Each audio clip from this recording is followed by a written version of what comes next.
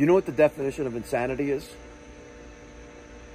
Repeating the same thing over and over and over again, expecting different results. Kind of like this Raypak heat pump pool heater. You see this? This thing right here? This is a pool heater made by Raypak. There's a model serial number. And uh, we have a couple pool pumps here. Another pool pump there.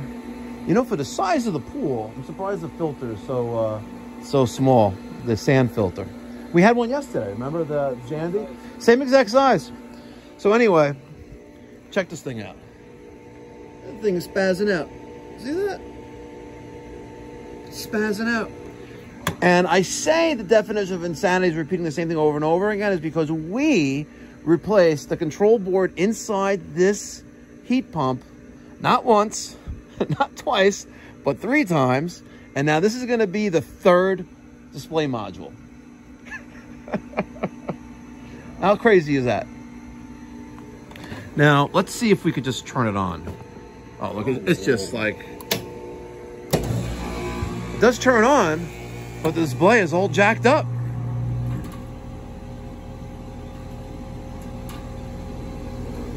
I don't know. Look at that. It's like in, uh, you know what that looks like? That looks like it's in uh, ChatGPT language. You know when you ask it to create something? Yeah, like it does. It doesn't know English. It doesn't know how to put text on images. But look, that thing is spazzing out. And I'm not exaggerating. So folks at Raypak, I know some of you watch my channel. You see that serial number? Yeah. You know what's going to happen now? I am going to charge them yet again a boatload of cash to replace that control board because it's out of warranty now. Crazy. We're going to educate you a little bit. You know how a heat pump operates? Yeah? Tell me. A heat pump operates by circulating the hot water. That's a circulator. Got him. So, as we talked about yesterday, there's four components of every refrigeration cycle. Whether it's an air conditioning unit, a window unit, a, uh, a freezer, a, a, a, supermarket, you know, reach-in fridge. You have a compressor, you have an evaporator, you have an evaporator coil, a condensing coil, and you have a metering device, right? Now, air conditioning works, to keep anything simple, by extracting the heat and also the humidity from one space and dumping it somewhere else, right? Air conditioning. So when you turn on the central air conditioning in your home, the compressor outside runs. It takes, uh, uh, it creates high and low pressure on the on the refrigerant. It sends high pressure to the indoor unit, right where the evaporator is. But before it hits that evaporator coil, it hits a metering device. So now that high pressure is going to slowly be released to low pressure, low pressure, low temperature, right? And then that's going to flow through the evaporator coil. The blower, the, the fan, is going to push air across this coil, cold coil, right? And it's going to, the refrigerant is going to absorb that heat in the air.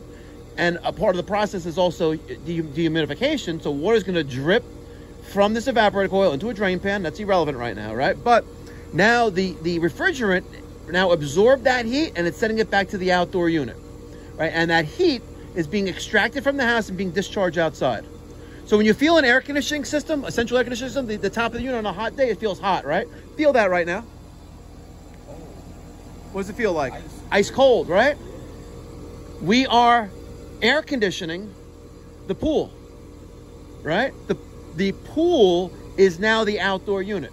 We're extracting the heat from outside, right? That's what a heat pump does. It, works, it reverses air conditioning. So right now we're extracting heat from outside and dumping into the pool.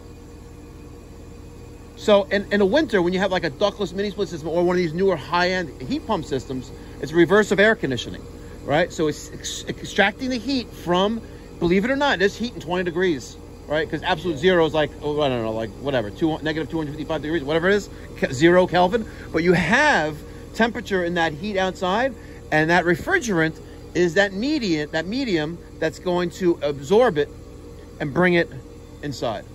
So right now we're taking the heat in this 72 degree weather and putting into the pool.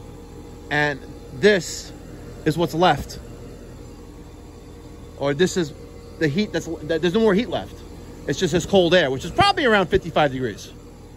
Crazy, huh? All right, let's go give him the uh, the great news with this control board. Now look, look at that. Now it's normal. right?